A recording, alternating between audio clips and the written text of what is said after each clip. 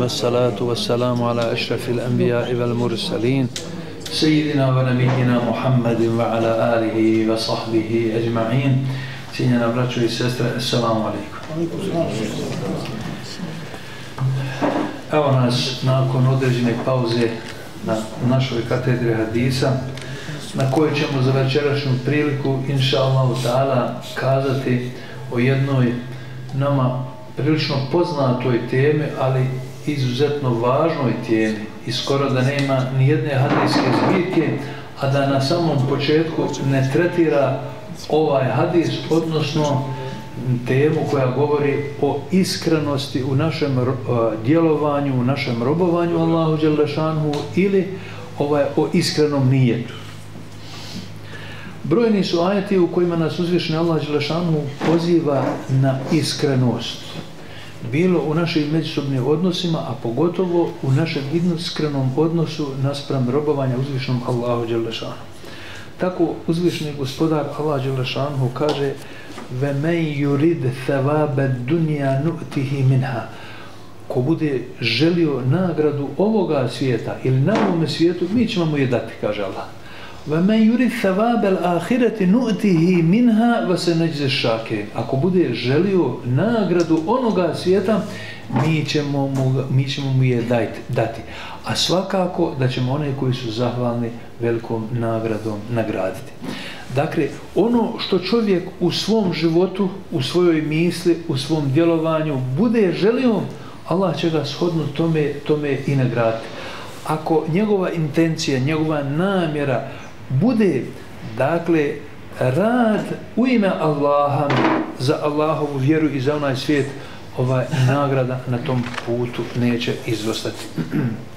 Uzvišeni Allah Želešanhu eh, kad govori o, o našoj iskrenosti, o našem iskrenom nijetu, ovaj, on kaže eh, eh, vema umiru illa li ja'budu Allahe muhlisina lehu din a naređeno im je da se samo Allahu klanjaju i da mu iskreno kao pravovjerni vjeru ispovjedaju.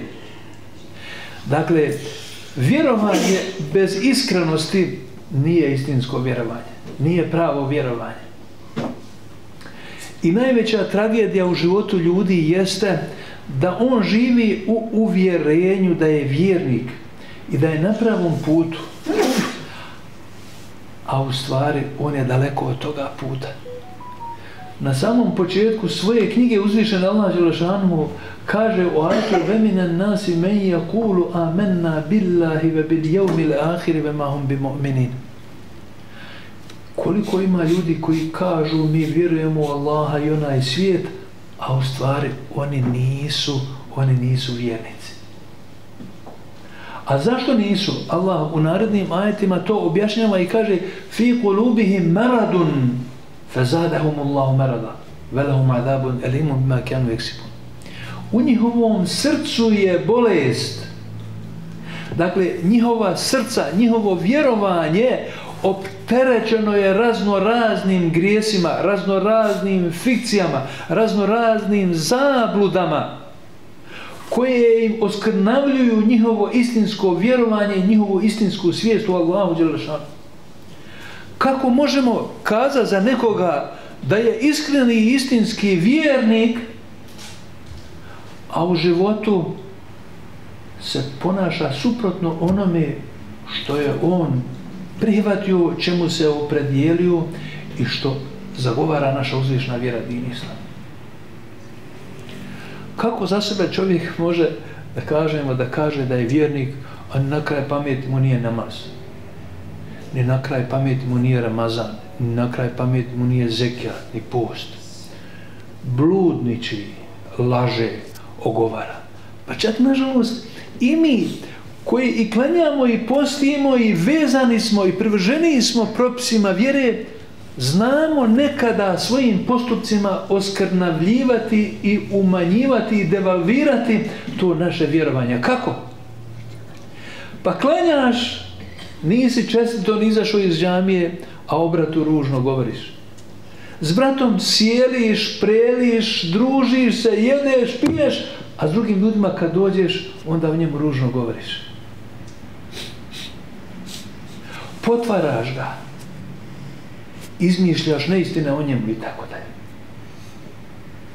Ili tvoje ponašanje je pred ljudima jedno, a u osami ili sa onima koji su ti bliski je potpuno drugačije. Ili kad si s ljudima, ti se trudiš da upotpunjuješ principe i propise vjere, a kad si nosamo, ovo, o tome ne mariš. Zato Allah Đelešanu kaže o vjernici, zašto govorite ono što ne radite? Iskrenost podrazumijeva to da ono što je u srcu bude kompatibilno, odnosno bude u suglasju sa našim dijelima, sa našim postupcima. Allah kaže zašto govorite ono što ne radite. Allahu je zaista odvratno i mrsko da jedno govorite, a da drugo radite. Allah Želešanhu isto tako kad govori o našem nijetu, iskren nijet, iskrena namjera, je suština i srž našega ibadeta. I od našeg nijeta zavisi da li će Allah Želešanhu primiti ili odbiti naša djela. To nam Allah Želešanhu vrlo slikovito objašnjava kad govori o kurbanu i kaže le je nalo Allahe luhumuha vela dimauha vela ki je nalo takva minkum. Do Allaha kaže neće dopirati ni meso njihovih kurbana, ni krv njihovih kurbana. Do kurbana dolazi i dopire takvalog. Taj dinski osjećaj koji čovjek iskazuje i pokazuje u momentu izvršenja toga djela. Dakle, sama namjera, sama odluka, sama od... Zato mi, slušajte, zato poslanik Ali Sivatu se nam nije, nije tio verbalno, jezikom, kad hoće klanjati namaz. Nije ko što mi znamo, nekad ne vedite onu salila i tala salate, fardili ša i tako da. Nije poslanik to činio. Međutim, islamski učenjaci kažu, radi bolje koncentracije u namazu, to je poželjno ovaj, da čovjek čini. Ali poslanik to nije činio. Zašto? Pa Allah zna kad si ti večeras došao u džamiju u jacijsko vrijeme, što si došao? Došao si s nijetom da u džematu klanjaš jaciju i Allah ti to bilježi kao tvoje, kao tvoje dobro djelo. U jednom hadisi kuci kaže se da je Allah Želešanu ukazao iskrenost je jedna od mojih tajni. Nju stavljam u srca onih mojih robova koje ja volim. Zato blago onome koje je iskren u svome robovanju Allahu Đelešanu i u svome odnosu naspram drugih Allahovih stvorenja. Kaže, nju ne poznaje ni melek da je zapiše. Ne može je melek zapisati. A niti je poznaje šetan da bi je pokvario, da bi je iskrivio. Ona je, kaže Allah Đelešanu, između mene i moga roba. To je taj tanahni osjećaj koji insan pokazuje i iskazuje u momentu izvršenja određenoga, određenog djela. Zato neki islamski učenjaci kad definišu takvaluk, dakle istinsku bogobojaznost, istinsku iskrenost u rubovanju Allahu Đelešanu, oni kažu da je istinska bogobojaznost kad je čovjeku svejedno, kad čovjek isto osjeća ili ga ljudi hvalili ili ga ljudi ili ga ljudi napadali. Dakle, kad se čovjek izdigne na taj nivo da mu je sasvim svejedno ili ga ljudi napadali ili ga ljudi hvalili. A zašto? Pa zato što je takav Allahov rob svjestan to je nebitno njemu šta će ljudi o njemu misliti. Njemu je bitno da Allah zna kako se on ponaša, u ime čega šta radi i zašto se je odlučio za određenu stvar i tako dalje i tako dalje. Imamo jedan hadis e, kojeg e, prenosi Ebu Hureyre radijallahu anhu da je Allahu poslanik alaih salatu wasalam kazao inna Allaha la janzuru ila suverikum ve emvalikum velakin janzuru ila kulubikum ve a'malikum. Allah doista ne gleda u vaše likove, u vaš izgled, niti gleda u vaše imetke, vaše imanje, nego Allah doista gleda u vaša srca, dakle u ono što je u njima, u vaša srca i gleda uh, u vaša djela. To je ono što je primarno. Primjerice rade kod jevreja su najodlikovaniji oni koji najviše znaju. U stvari, e, kod, e, oni koji najviše imaju. Kod kršćana oni koji najviše znaju. A ko su kod nas najodlikovaniji? Kod nas su najodlikovaniji oni koji su najbliže Allahu, dakle, koji su najbogobojazni. Inna akramakum inda Allahi etkakum kod Allaha su najplemeniti, najbolji, najodlikovani oni koji su najbogobojazni, dakle oni koji su najprincipijelniji i najdosljedniji u iskazivanju Allahove Đelešanu vjere i Allahove Đelešanu propisa. I hadis koji bilježi imam i Buharija kao i autor svih hadijskih zbirki, nama poznat hadis da je poslanik sallallahu alaihi ve sellem kazao innamal a'malu bin nijat. Zaista se ljudska dijela vrednuju i ocjenjuju i nagrađuju prema nijetu. Kao što god u tefsiru, u tumačenju Kur'ana, imamo povode objavljivanja određenih sura ili ajeta, isto tako i u hadisu, imamo povode objavljivanju, odnosno iskazivanju određenih hadisa koje je poslanik sallallahu alaihi ve sellem izrekao. Pa je ovaj hadis Allahov poslanik alaihi sallatu ve sellem izrekao ovaj vezano za hijđru kada je kazao innamal a'malu bin nijat. Zaista se ljudska dijela ocjenjuju i vrednuju prema nijetu. فمن كان هجرته إلى الله ورسوله فهجرته إلى الله ورسوله onaj ko bude učinio hijđru, dakle ko se bude iselio radi Allaha i njegovog poslanika, on će biti nagrađen za tu saobu koju je učinio u ime Allaha i njegova poslanika. Ali, vemen kane hijđretuhu ila, ila dunija yusibuha, ali ko se iseli na, a, a, radi dunjaluka i njegovih koristi, evim re'etun, evim re'etin, يتزوجها فهجرته إلى ما هاجر إليه ali ko je učinio hijđu radi neke dunjaličke koristi, kako rekao, ili radi žene s kojom se naumio oženiti, njegova će hijđa biti radi onoga radi čega ju je učinio, a ne faktički radi Allaha njegova poslanika.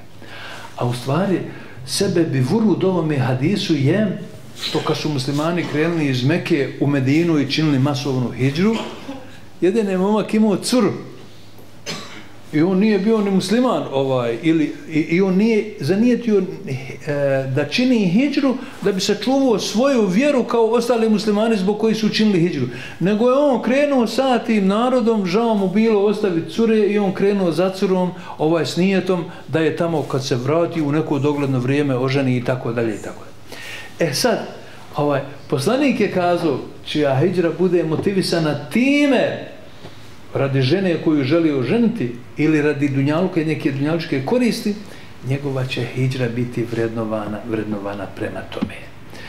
E, ljudi će zbog svog nijeta i zbog svog neiskrenog nijeta na sudnjem danu doživjeti mnoga razočarenja, braćo i sestre. Insan ako što bude činio, ne bude činio u ime Allaha uzvišenog, dakle sa iskrenim nijetom i kad bude očekivao nagradu od Allaha za neko djelo, reći će mu se na sudnjem danu, idi i traži nagradu od onoga u ime koga si, u ime koga si to činio. U hadisu kojeg također prenosi Ebu Hureyre radijallahu anhu kaže se da je poslanik alaih sallata se rekao zaista će na sudnjem danju ljudi biti proživljeni u skladu sa njihovim namjerama. Dakle, njihove pozicije i položaj na ahiretu će biti na osnovu njihovih nijeta, odnosno njihovih namjena, odnosno njihovih dijela koja su čine. Zato se u islamu ne preferira količina, ne preferira se kvalitet, kvantitet, nego se preferira kvalitet. Dakle, nije bitno koliko je dijelo, ni koliko si tih dijela učinio, bitno je kako se ta dijela učinio i koliko su ona iskrena prilikom njihovoga, prilikom njihovoga izvršenja. Od Ajše radijallahu anha prenosi se hadis koji bilježi imam i Buhari rahimahullahu ta'ala da je poslanik alaihi salatu wasalam kazao doći će skupina ljudi koja će osvojiti kjabu i kada se oni primaknu jednome pustome mjestu svi će do posljednjega biti, kaže, provaljeni u zemlju, odnosno zemlja će ih progutati. Propašće, dakle, sve do posljednjeg uzemlja. I Hazreti Aisha radijallahu anha veli ja kaže upita Boži poslaniće kako će propasti u zemlju svi od prvog do posljednjega kad će među njima biti trgovaca i ljudi koji nisu došli s namjerom da, da osvoje i pokore kjabu. Na što je poslanik Ali Salat Veselam odgovorio propast će svi od prvog do posljednjeg pa će nakon toga biti proživljeni na osnovu njihovih nijeta. Dakle, kakav čiji nijet bude, taka će mu se i pozicija i mjesto na sudnjem danu na Ahiretu dati. Imamo sličan hadis koji se bilježi u komentaru, u komentaru ajeta iz sure Enfal gdje uzvišne Allah Đelešanu kaže وَتَّكُوا فِتْنَةً لَا تُصِيبَنَّ الَّذِينَ ظَلَمُوا مِنْكُمْ خَاصَّةً وَعْلَمُوا أَنَّ اللَّهَ شَدِيدُ لِقَابِ Allah Đelešanu u ovom ajetu kaže i bojte se fitneluka, ovdje doslovno se kaže fitneluka, ali neki e, islamski učenjaci i prevodljivaci Kur'ana na naš jezik ovaj, ovo prevode bojte se grijeha zbog kojega Allah neće kazniti samo počinioce toga grija, nego će tom kaznom, kaže Allah, obuhvatiti sve. I u komentaru na ovaj kuranski ajet Ibn Kesir navodi predaju od poslanika, alaih salatu wasalam, koji je kazao kada se u mome ummetu ljudi počnu činiti javno grije i kada se ljudi od, javno odaju razvratu, kaže Allah će ih sve obuhvatiti svojom kaznom. Pa njegova supruga Ummu Selama radijallahu anha kaže Allahov poslaniće, pa kako sve, kaže, zar u to vrijeme kad se desi to, neće među njima biti dobri ljudi? Hoće. Kaže, bit će dobri ljudi, ali će ih Allah zbog grijeha drugi sve obuhvatiti svojom kaznom a onda će, kaže Allah, na osnovu njihovog nijeta razabrati ko je bio iskren, a ko je bio neiskren, ko je bio pravi, a ko je bio krivi.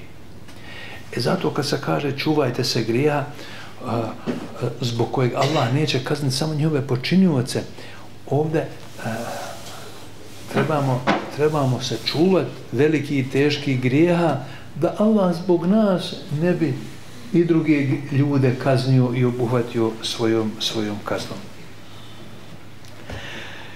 I poznati hadis uh, kojeg bilježi Ebu Davud uh, u kojem poslanik alaih salatu wasalam kaže kada je jedne prilike izašao sa svojim ashabima u jedan vojni pohod pa je poslanik alaih salatu wasalam kažao uh, vi ste u Medini ostavili ljude koji će kud god vi budete hodili šta god vi budete potrošili od nafake na Allahovom putu i kroz koju god dolinu budete pro, prolazili bit će s vama. A to znači dijelit će s vama selape o Boži poslaniće upitaše ashabi kako će biti s nama kad su oni ostali u Medini? Na što im poslanik sallallahu alejhi ve sellem odgovori oni bi sigurno izašli s vama da ih nije spriječio neki razlog. Dakle, zbog njihovog nijeta da i oni učestvuju u tom pohodu, ali su imali objektivne zaprage, zapreke i nemogućnosti da se, da se pridruže ashabima koji su izašli u taj vojni, Allah Đelešanu će i nagraditi. Allah Đelešanu će i nagraditi. I vidite, ovaj hadis je nešto što je prelijepo, predivno u našoj vjeri. Abdullah ibn Abbas radi Allah on prenosi da je vjerovjesnik sallallahu alaihi ve sellem e, e, rekao zaista kaže Allah uzvišeni i moćni imenuje meleke imenuje meleke koji vas prate a koji zapisuju vaša dobra i loša djela a onda im pokaže način kako oni to zapisuju i kako oni to rade. Pa ko naumi da učini neko dobro djelo, a ne učini ga, Allah ga za to djelo nagradi kao da ga je učinio. Ako naumi da učini neko dobro djelo pa ga izvrši, Allah ga za to dijelo nagradi od 10 do 700 puta, pa i više od toga. Ako naumi da učini neko loše dijelo pa ga ne učini, kod Allaha mu se piše jedno dobro dijelo. Vidite, čovjek naumi da učini neko loše, nevaljalo djelo i nešto ga spriječi na tom putu i ne uradi to djelo. Allah ga zbog neizvršenja toga djela nagradi kao da je učinio jedno dobro djelo. Ali ako čovjek zanijeti da učini neko loše djelo i učini ga, Allah ga kažnjava i piše mu grije samo za to jedno dobro djelo. Za dobro djelo od 10 do 700 puta, od, za dobro djelo od 10 do 700 puta pa i više, a za loše djelo, za grije, samo, samo jedno loše djelo, samo jedan grije. I imamo hadis još jedan koji prenosi Ebu Hureyre da je poslanik sallallahu alaihi ve sellem kazao čovjek je bio koji je rekao ja ću sigurno podijeliti sadaku na Božijem putu a da za to niko neće znati. Dakle, s nijetom da to učini samo u ime Allaha Đelešanu, tajno da učini se. I onda izađe s namjerom da učini da podijeli sadaku, ali dajući tu svoju sadaku, ne znajući, on je dadne u ruke lopova. Idućeg jutra mu ljudi priđu i kažu Pa kaže, ti dade sadaku, kaže, lopov. A on da se, on obrati Allahu Đelešanu i kaže, Allahu, Bože moj, neka ti je velika hvala, ali ja sam zaista želio podijeliti sadaku u tvoje ime, a da niko za to ne zna. Kao on se sad pravda i opet izađe s namirom da podijeli sadaku i ta njegova sadaka dospije u ruke prostitutke. A ljudi mu stradan dođu i kažu pa ti dade sadaku u ruke te i te. A on ponovo dođe i kaže Allahu gospodaru moj neka ti je velika hvala ali ja sam kaže želio da učinim dobro djelo i sadaku samo u ime tebe i da samo to ti znaš i kaže izađe i treće jutro a ljudi izađe i treće jutro i onda podijeli sadaku ali ta njegova sadaka dospije u ruke imućnog čovjeka. Pa mu ljudi reknu, kaže, pa ti dade sadaku onome koji već ima. A onda on ponovo rekne, Allah moj, puno ti, neizmjerno ti hvala, ali ti znaš da sam ja želio da svoju sadaku dam ovaj, iz ljubavi prema tebi da niko ne zna za to i tako. Među tim ljudima bijaše čovjek koji mu je rekao to što si podijelio sadaku lopovu pa možda, možda će postije nije on početi da se suzdržava od lopovluka. Može Allah da, da bereketom tvoje sadake taj lopov prestane krasti onaj koji e, e, sadaka koju si dao prostitutki Allah može dati da bereketom tvoje sadake ona prestane činiti taj ružan posao. I treće kaže sadaka koju si dao bogatom čovjeku Allah može dati da tvojom sadakom se u njemu probudi svijest pa da i on bude od onih koji će davati sadaku i koji će je trošiti na Allahovom dželašanom putu. Mi kad braćo i sestre imamo iskren nijet, ne trebamo apsolutno razmišljati o tome hoće li ona dospjeti na pravo mjesto ili neće dospjeti. Hoćemo li biti nagrađan, makar ona zaglavila tamo gdje ne treba. Ispričat ću vam jedan slučaj koji sam čuo od jednog našeg uvaženog i uglednog hafza, sarajevskog hafza Mahmut Efendije Traljića, rahmatullahi alej, koji je kazao jedne prilike, kaže, prije, prije drugog svjetskog rata, za vrijeme kraljevine Jugoslavije, red Sulema je bio čuveni Džemaludin Efendija Čaušević. On je porijeklom krajišnik od iz Bosanske krupe iz mjesta Arapuša. Ali što, što njega svrstavaju i e, rejsa e, Sulejmana Hafsa, Sulejmana Efendiju Šarca i kažu da su to dvije najsvjetlije figure među rejsu Lemama. Oni su bile, da kažemo, da, da se usput, eto, prisjetim i da im rahmet predamo, molimo, da zamolimo Allaha da ih obilato nagradi ovaj, u dženeti Firdevsu. Eh, ali one su bili ono što kažu karaktere ljudi. Bez obzira što su živjeli u vrijeme ovaj srpske i hrvatske hegemonije u kraljevni ovaj Jugoslaviji, a, oni se nisu dali slomiti. I kad je Rejsu Čauševiću, jedan ministar za prosvjetu došao i tražio nešto od njega da on kao Rejs Ulema podrži ovaj, što nije bilo u interesu islama i muslimana, ova, on je rekao ja to ne. I kad je on počeo da vrši pritisak na njega, on je skinuo svoju Ahmediju i stavio mu je na sto. Evo ti kaže, pa ti budi rejs ulema, ali ja dok ovo nosim na glavi i dok sam ja, kaže rejs, ja to nikad neću, kaže, potpisati. A, I jednog i drugog su primorali da su oni prije vremena, ovaj, je, pri, ovaj se prije vremena penzionisao, Čaušević, a Hafiz Šarac, ovaj, on je, ovaj, e, on je, on je dao ostavku, nije htio više da bude reč Lema, jer nije htio da ono što kažu igra kako oni sviraju.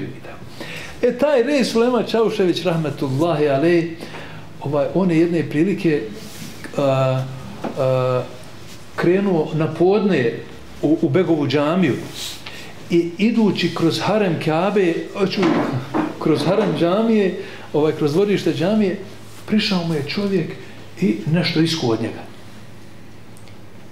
Rekao mu je, kaže, u mene je umrlo dijete, kaže, Efendija, i ja nemam, kaže, dinara, nemam s čim da ga opremim. Da ga izvedim iz bolnice, da ga transportujem, da ga ukopam i tako. Koliko treba para, on rekne toliko, toliko, on za novčanik izbrojim pare, evo te. Kad je on šao u džamiju, to je neko džematlija vidio i prišao mu je, re, rekao mu, kaže, kaže, pa Reis Efendija, kaže, to je jedan, kaže, poznati varovca ovdje u čaši, što si mu, kaže, dao, kaže, te pare, a njegov je odgovor bio, kaže, ja ukopah dijete, a on, kaže, s parama ne radi šta hoće. Drugim riječima, ja ću kod Allaha imat nagradu za to djelo, jer sam s tim nijetom dao te pare, a on ne radi, ne radi sa njim. Ili mi, na primjer, kad dajemo uh, sadaku sirotinji, on kaže, popit će pa, ne znam, ovako, onako, ciganka, ne ciganka i tako dalje. Što bi moja metle mati reci, kaže, sine, kaže, ko je u za iskat? I ti u Kabuli dat, kaže, pa kaže, eto Allah, eto on neko, on kaže, proviđuju između se i tako. Tako i jest.